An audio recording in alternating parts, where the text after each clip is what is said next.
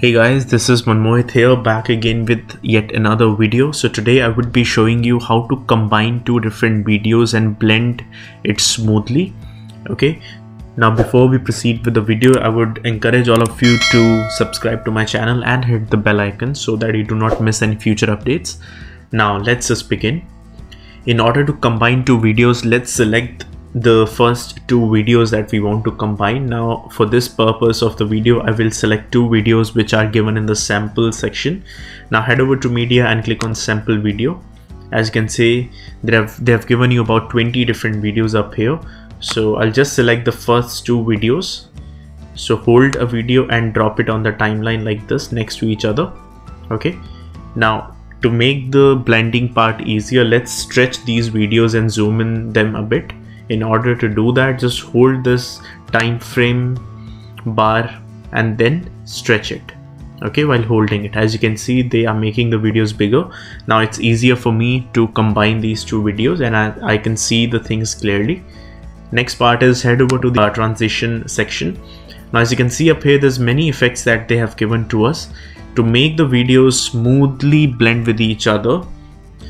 Select the very first one which says dissolve okay and put it here. Now there are three ways of doing so. First way is you can drop it on the second video. Second is you can drop it on the first video. And third way is you can drop it in the middle of two different videos. Now this is something that i would be recommending you that drop it in the middle of two videos so that they can blend with each other smoothly. Now if i try to play this video it will look something like this okay? See how smooth do they look. Now one thing that we can do up here is now this effect is actually covering up most of the video. So that is why the effect uh, seems okay but the videos do not you know uh, look that good. In that scenario simply we can shorten this effect a bit as well. Now what we need to do is just take your mouse cursor towards the beginning of the video when the cursor changes to this sign.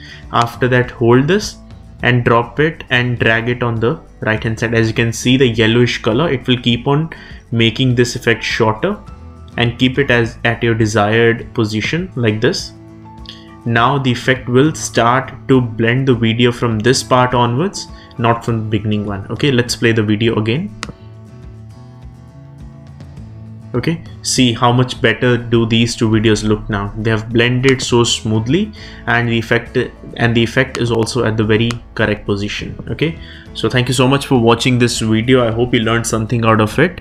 And for more future updates feel free to subscribe to my channel and hit the bell icon so that you do not miss any further updates. And with that i'm out